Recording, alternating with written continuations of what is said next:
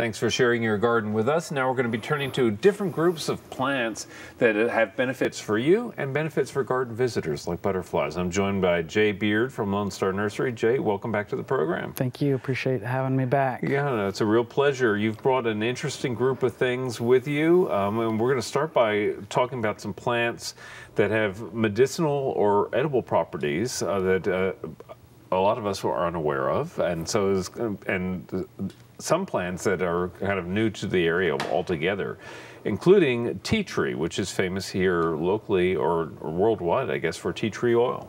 Yep. So uh, tea tree oil, also called Melaleuca alternifolia. Mm-hmm. Um, it's grows great in Austin. Um, it's a evergreen, and yes, it's famous all over the world for its antiseptic as well as antibacterial, antifungal, uh, antifungal. Of, yeah. Um, and it's heavy in the oil. So growing the plant, you can you'll have massive amounts of oil. Uh, so how do you harvest it? I'm curious. The, the plant is beautiful, by the way. it is. It's nice. It's got a nice white bloom in the springtime. Mm -hmm. The harvest can be cold pressed with the leaves, uh, okay. uh, bark. Um, you can also make uh, like poultice, uh, which is take, taking the leaves and actually putting them directly on right. problem areas in your hair, mm-hmm. those kind of things, or how it's commercially available is distilled, which mm-hmm. is a mm-hmm. little more complicated. Right, right. Uh, a little more for the home gardener, but it can yeah. be done. Yeah. Well, anyway, it's a beautiful plant. I knew they were from the tropics, but I didn't know they would grow in Austin. It, it does magnificent here. In, in fact, it, it you know it's it it's supposed to be sort of a desert shrub. Mm-hmm. I mean, that's mm-hmm. kind of what it is. Um, okay. Um, but it can take just about everything Austin has, including rain, cold, Cool. Um, so right. it's a it's a champion. Well, right next to it is ginkgo, uh, which is uh, a, again a, a, botanical that is used uh, medicinally or herbally uh, or worldwide, and uh, these are beautiful trees. There's some beautiful old specimens of ginkgo around Austin too. Yeah, especially on campus, there are mm-hmm. a few uh, really old 50, 60 year old ginkgos. Mm-hmm. There's also a few in the botanical gardens. Um, but you know, it's it's kind of it's got a, a, bad sort of bad rap, I guess you would say, uh, just because of the male female. Uh, mm-hmm. one of those, I believe it's the female. Female for put, puts out a, a masses amounts of fruit um, that can be messy, right. kind of like pecans and all of the mm-hmm. other natives that we grow around here. Right. It just, it, I guess maybe it has a little more smell to it. It's malodorous, is to put it politely. uh, I've never actually smelled it, so I don't, I don't know. I come but, from the Northeast, and there was one, uh, there was a female ginkgo in our neighborhood. Yeah. Everyone knew about it. yes. Well, the leaves are medicinal. Right. Uh, you know, it's a, it's a great plant. If you've, uh, you know, ever dabbled in Chinese medicinal mm-hmm. herbs, it's one of the the main main plants. Right.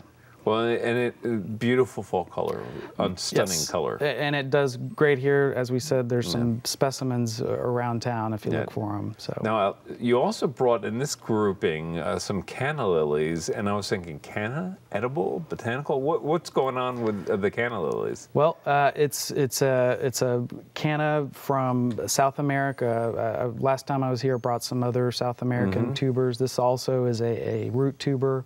Um, the, the leaves on this one are also edible. Huh. Um, it's called Canna edulis, which we likely is, is because of the edibility mm-hmm. of the entire plant. Uh, it's been used for thousands of years uh, in South America. Wow, I love reason. canna lilies. They're easy to grow, full sun, grow rapidly, you know, almost pest free all exactly. the good stuff, right? And, and it's very ornamental. it, it, has the very similar bloom to uh, the ones that your grandmother grew. Right. So right. it's, a, it's a nice one. Your grandma's canna. Yes. All right.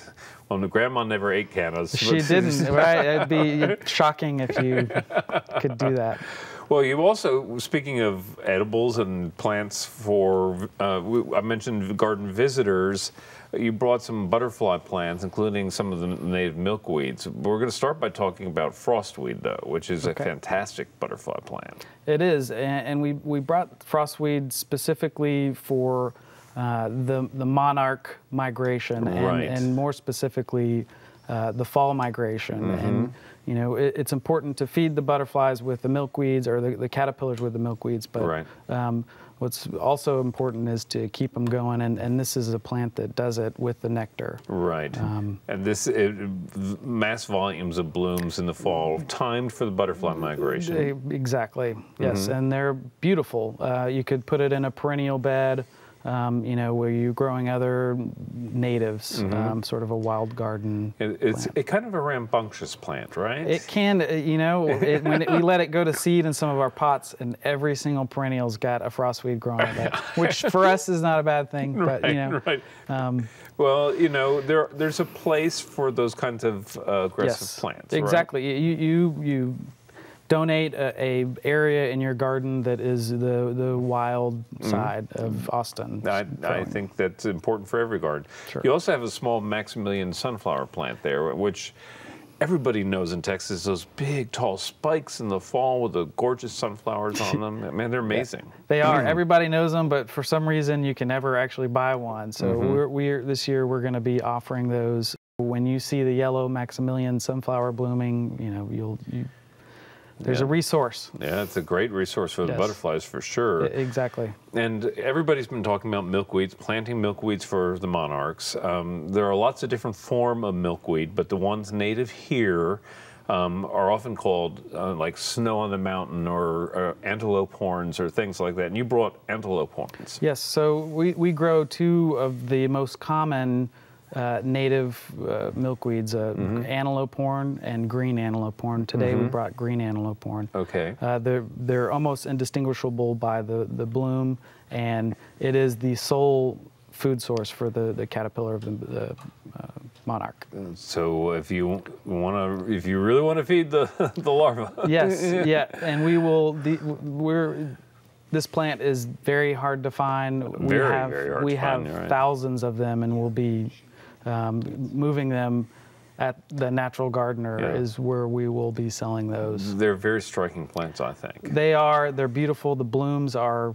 Uh, not only is the plant a, a- a foliage plant for Mm. the, the butterfly, it's also a nec- they get nectar from the blooms. So um, there's uh, the viridis, the green an- antelope horn, and then also the uh, antelope horn. Okay. We'll- and we'll have both of those.